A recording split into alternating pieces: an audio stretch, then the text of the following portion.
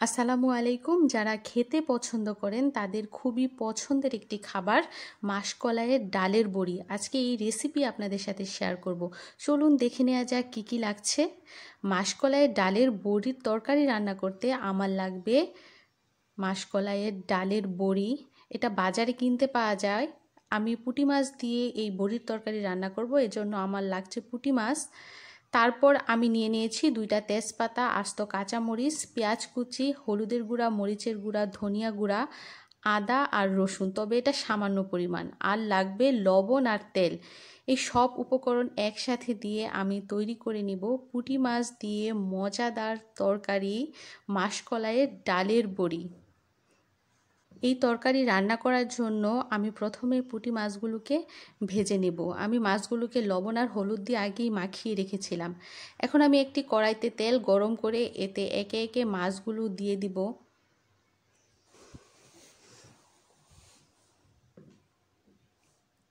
এখন আমি মাছগুলোকে উল্টিয়ে নিব।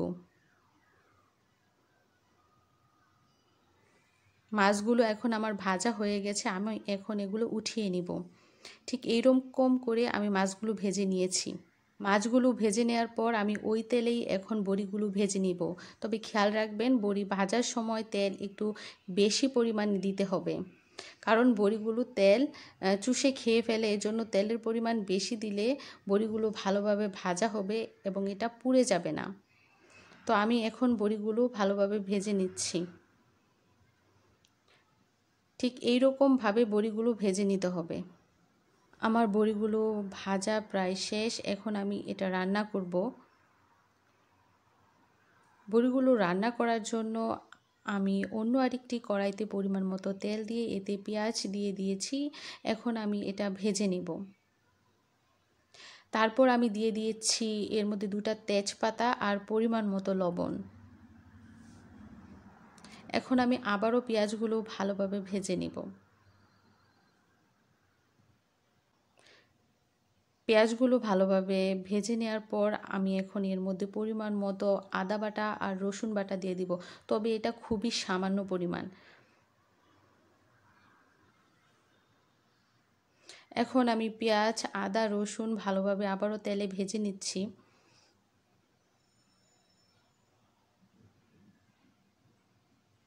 এখন আমি এর মধ্যে সামান্য পরিমাণ পানি দিয়ে দিব।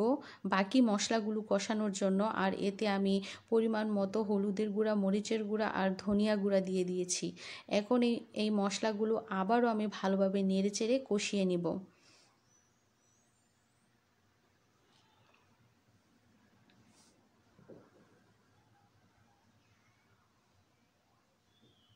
মশলাগুলো ভালোভাবে কষিয়ে নেওয়ার পর এখন আমি এর মধ্যে দিয়ে দিব ঝোলের পানি।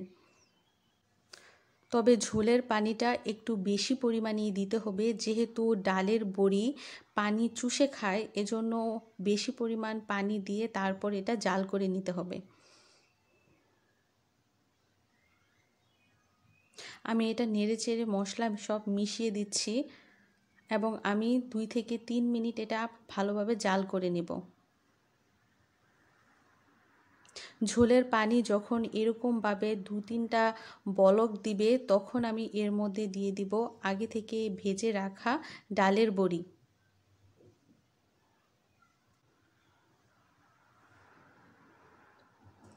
তারপর আমি এর মধ্যে দিয়ে দিব আগে থেকে ভেজে রাখা পুঁটি মাছ।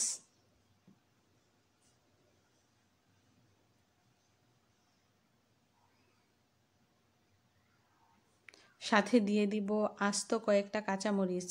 কাঁচামরিচ দিলে তরকারির মধ্যে সুন্দর একটা গন্ধ আসে জন্য কাঁচামরিচটা দিয়ে দেওয়া।